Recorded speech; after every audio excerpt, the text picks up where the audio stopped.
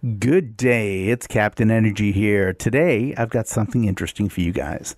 One of my subscribers sent me a message requesting information if there was any way to extract the sounds from Reason's uh, refills to use in another application. Now, um, the application specifically that he wants to use these with is called Backbone from Steinberg Software, which I happen to own a copy of, so I figured I'd give this a, a whirl. Um, I did try to extract the sounds directly from the library, the refill. However, um, at least the WAV files and the REX files I figured would come out, but they don't. Um, I looked around to see if there was software that would work to do that, and uh, the software that exists to do that seems a little sketchy. I probably wouldn't recommend downloading it or installing it on your machine. I mean, I don't want anyone to get a virus, so please don't try and mess with that. Also, as far as the license goes, um, you're not allowed to just rip them out of the uh, the refill and just take all the sounds and go because I mean that would make you know somebody could easily redistribute that as a you know their own work, which it wouldn't be, but you know you could easily do that uh, if you had such a technology. And the uh, refill packages are pretty uh, tight on security, so I personally would just go with this method. I've got something, a way to do this legally, and it's pretty cool as far as it lets you, you know, I mean, also, what are you going to do if you pull like 10 million sounds out of here? I mean, they're not 10 million, but even a couple thousand. If you pulled a thousand sounds, now you got to go through all those sounds, and you just got a giant jumbled mess of data. It's easier to go through them right here in Reason and uh, give them a listen. Just click them, and it will play them. You can hear those. See? And then you can pick the sound you actually want. Uh, since it's Halloween month here, um, I'm going to take this one. It's called Demonic Mocking. I thought it was interesting, and I was like, not that I'm into uh, any of that, but I mean, I just thought it was kind of very Halloweeny, you know what I mean?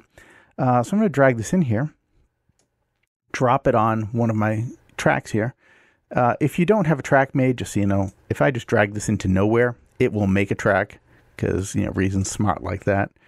Um, but regardless, there's my sound. Okay.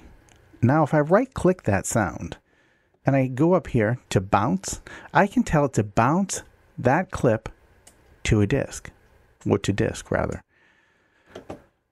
I'm going to tell it to put that inside this folder right here, this BB for backbone. And uh, I'll leave it as it is. We'll just leave it as uh, fx bfx3 demonic mocking dot wave. Boom, hit save. Now, I'm going to minimize reason. Oh, sorry, forgot to. Now, when it shows you the sample rate, just click OK. This is fine. 16 bit, 44 kilohertz. That's basically, you know, standard. Click this minimize, boom, and right in the background here, as you can see, I have already got Cubase set up. I've got a, uh, a backbone sampler right here, and uh, or backbone uh, instrument, I should say. It's really not just a sampler. And I'm already in the folder here, so I can drag it right out. Now, just so you know, uh, Backbone I think has a little bug. I'm going to call or email Steinberg about it, but uh, if I go here and to open up a file, click plus, it usually takes you right here and you pick your sound and it loads it. Well, since I wanted to get it from the file system, I clicked file system. I pick drive F. And then I go to BB. And you'll notice nothing shows up down here. Um, I don't know why. Theoretically, what should happen is I should get a list of files that I can open up, but they never pop open. So, since that's a bust, uh, that might work on a Mac, by the way. This is a PC. I'm not sure what the trouble is there, but I'm going to let somebody know at Steinberg. Fortunately, we have drag and drop technology. So I'm just going to go right here, okay, to my, I'm in a File Explorer, or in a Mac, you would use Finder. I'm going to grab this. I'm going to bring it over here to Cubase. See, my, my instrument disappears for a second, but it comes right back when I hover over it. And I'm going to drop it in the first slot. And now, there it is. My first layer of my backbone sound. And that's it. Um, And from here, you can do whatever you want with it. You've got your all your little backbone type things you might do.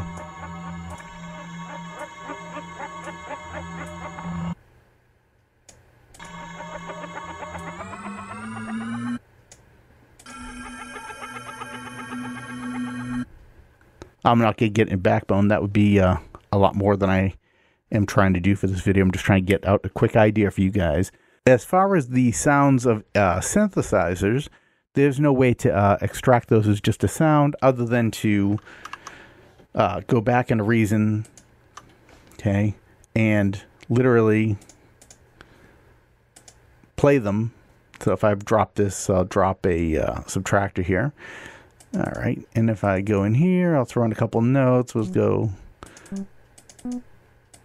Doesn't matter what they are. And now we'll go back out. If I right click that and I tell it to bounce in place, I will end up with this this wave file right here. Okay. Now this file, I can do the same thing. I just go over here, bounce, bounce clip to disk.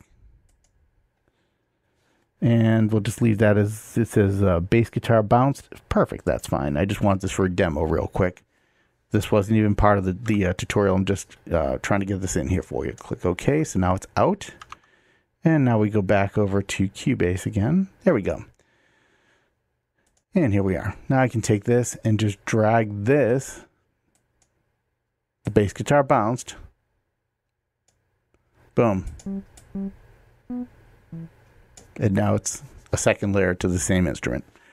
But that's it. There's no way to uh, grab synthesizer sounds out because they're all actual synths that have to be played to make sound. Uh, samples can come out individually one by one. If you want to take out an entire Rex loop, that is possible by just dragging it into an audio track and exporting it. Or you can grab an individual hit from a Rex loop, same way. And that's all I got for you guys.